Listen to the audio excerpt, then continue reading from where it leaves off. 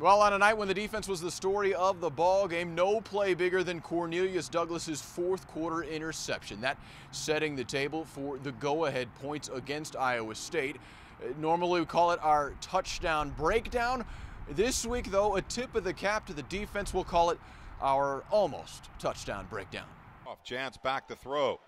Not pressured much, dumps it middle of the field. It's caught by Brun, oh. but it bounced up into the air after the hit by D.J. Johnson. Cornelius Douglas has it, coming the other direction. For that for that play Saturday, uh, we're in a man-free coverage, and um, mine basically is just straight man up. And so I mean, it's just me and him, mano y mano on the field, and um, I got him wherever he goes. And uh, we have a free safety in the middle of the field. He's free. We're playing uh, man-free. I'm in the middle of the field and I noticed that they have the tight end to the field, and we basically we kind of anticipate the routes that they're going to run based off of the based off of where the tight end is.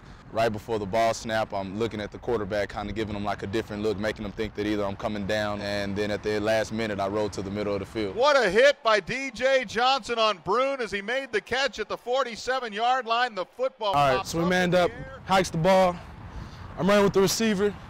I turn to look. I back up open to the middle of the field, reading the quarterback's shoulders. I see him pass the ball to the inside receiver. He releases it. I break.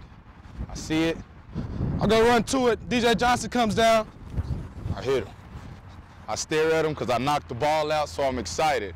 I look back and I see Corn running, I had no idea. And now I'm chasing to go make a block or do something, just any way I can help out.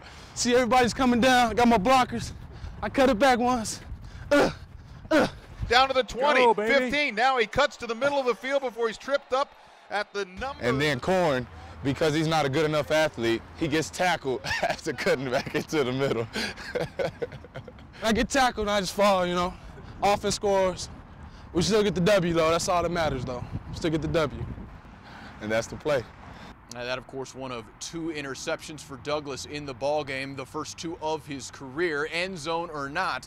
That good enough to earn him Big 12 Defensive Player of the Week honors this week.